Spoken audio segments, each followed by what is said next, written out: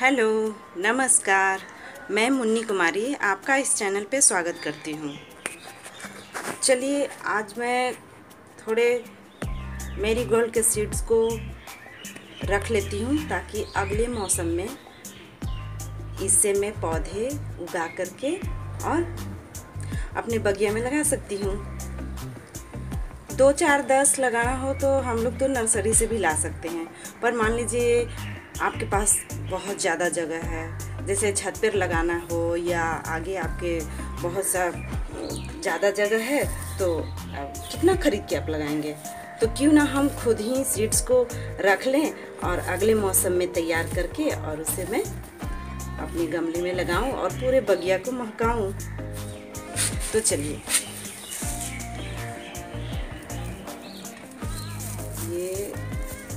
ये कुछ फूल हैं जो पहले खिले थे, जिन्हें मैं इसी में छोड़ दी थी ताकि वो सूख करके तैयार हो जाए। तो उन्हें मैं तोड़ लेती हूँ।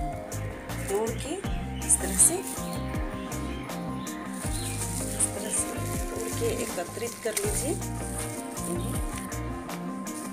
ये पहले का है काफ़ी सूख चुके हैं इतनी अच्छा है।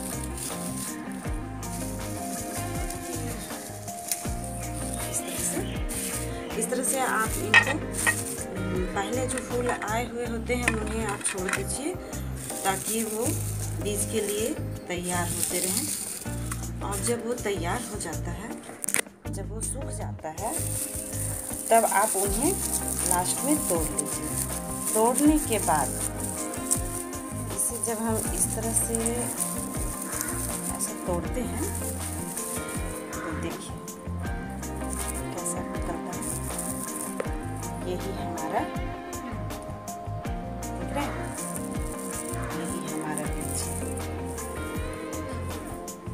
इस तरह से मैं कुछ पहले से मैं के रख ली हूँ दिखाने के लिए, ताकि आप देख सकें। इस तरह से आप तोड़ के इस तरह से बीच में, ऐसे बीच से ऐसे तोड़ दीजिए।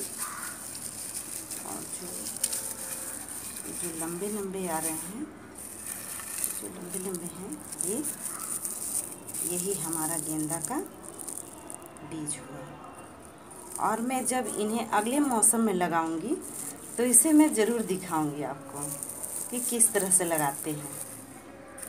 गेंदा का फूल बहुत खूबसूरत होता है ना? और इनकी खुशबू भी बहुत अच्छी होती है। तो इसी तरह से और भी फूलों के जो सीड्स हैं, उन्हें मैं जब निकालूँगी तो मैं आपको ज़रूर दिखाऊँगी, ताकि आप भी इन्हें अच्छे से पैक करके रख सकें, ताकि अगला मौसम में आपको भी ये काम दे। तो जैसा मैं दिखाई इस तरह से आप भी कर सकते हैं। और आप इन्हें रख लीजिएगा अच्छी तरह से सूखा जगह पे। तब आप हमारे चैनल को सब्सक्राइब करना नहीं भूलिएगा और हमारे सभी देखने वाले को बहुत बहुत धन्यवाद। ठीक है तो मैं चलती हूँ और फिर मैं अगले सीड्स के साथ या अगले पौधे के साथ या कुछ भी अगले जानकारी के साथ मैं फिर मिलती हूँ आपसे।